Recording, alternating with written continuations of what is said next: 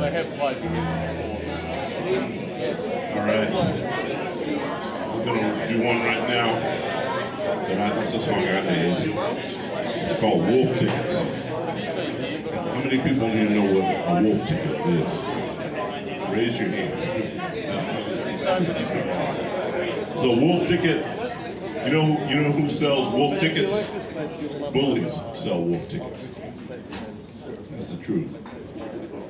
And I think that one of the first life lessons that we learn from, from the time that we are small children is how to deal with bullies. And, and we learn that bullies act out of fear. And if you stand up to a bully, they will always back down. You know, and I used to believe that, and then, and then we elected a bully as president of the United States. It seems like somewhere along the line, somebody must have stood up to him, but it didn't work like that. So everything I know is wrong.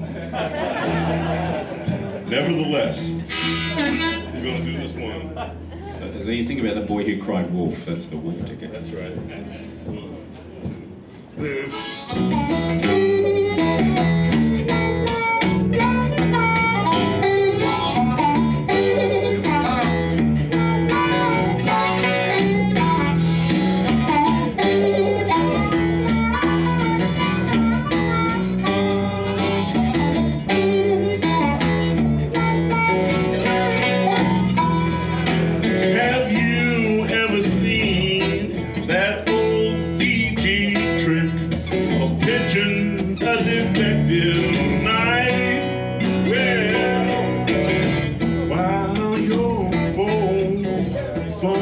For it, well, you you pull your good one and you take his life.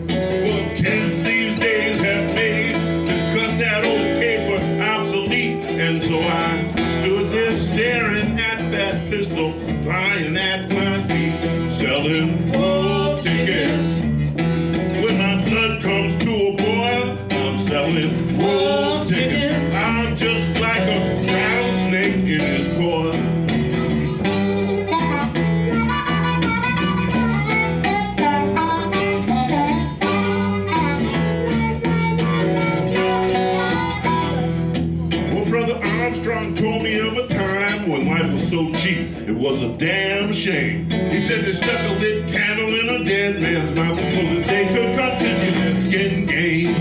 Well, I'm so glad that game that they call skin went out of style.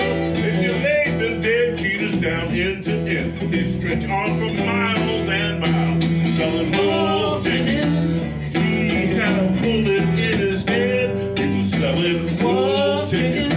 His blood ran candy apple red.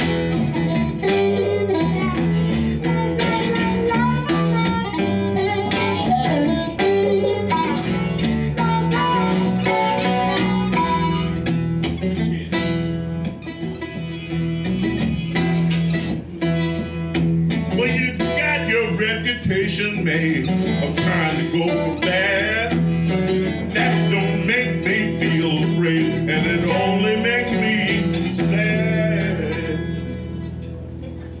I wonder what you're scared of. Why you walk so hard. Why you keep on barking like little dog in the dark, selling wolf tickets. Well,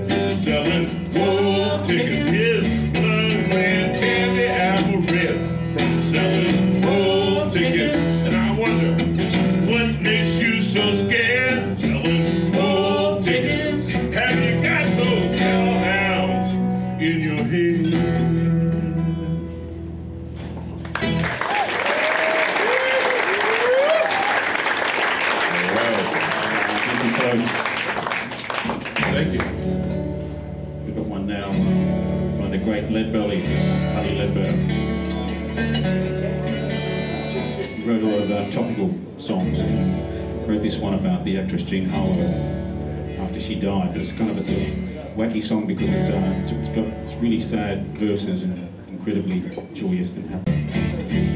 It's a typical kind of Led Belly.